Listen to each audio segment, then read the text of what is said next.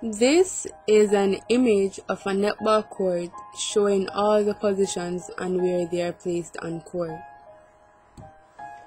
The positions aren't written on the court, but it is written or printed on a bib.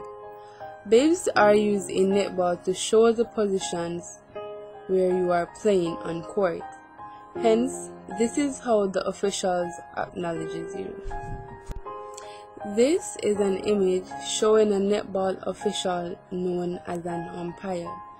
The umpire controls all the plays in the game. Umpires are not the only official in netball.